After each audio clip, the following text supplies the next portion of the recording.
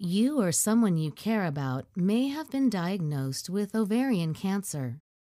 This video will help you understand the treatment options available. Ovarian cancer begins in the ovaries, which are the part of the reproductive system that makes and stores eggs. Cancer occurs when abnormal cells grow out of control. The cancer cells continue to divide and may spread, your treatment is based on the type and stage of your cancer and other important factors. The main treatments for ovarian cancer are surgery and chemotherapy. Your treatment plan may include both of these options. You may also receive one or more of the following treatments targeted therapy, immunotherapy, radiation therapy, or hormone therapy.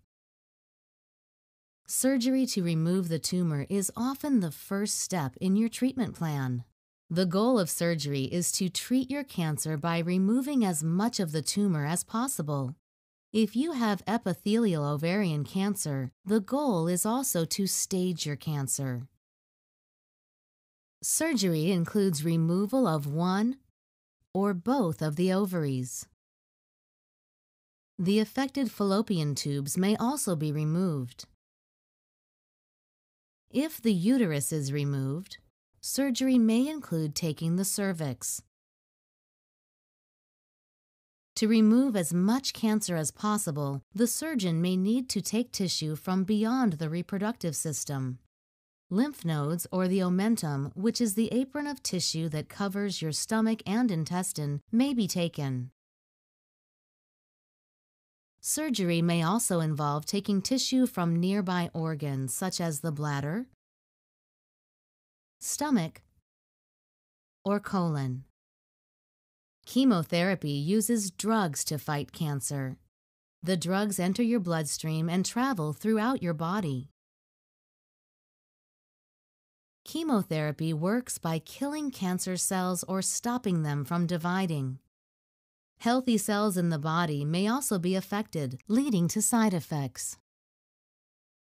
Targeted therapy is a treatment for advanced epithelial ovarian cancer. It targets the part of cancer cells that makes them different from normal cells.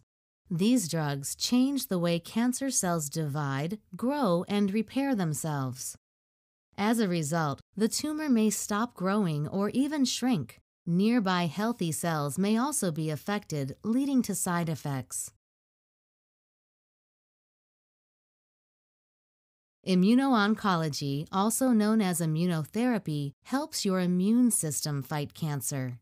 These treatments strengthen your immune system so that it can find and attack cancer cells or stop them from growing.